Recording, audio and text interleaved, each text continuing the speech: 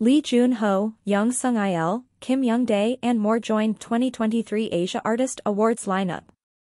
Eight actors have been added to the lineup for the year-end awards show, 2023 Asia Artist Awards in the Philippines.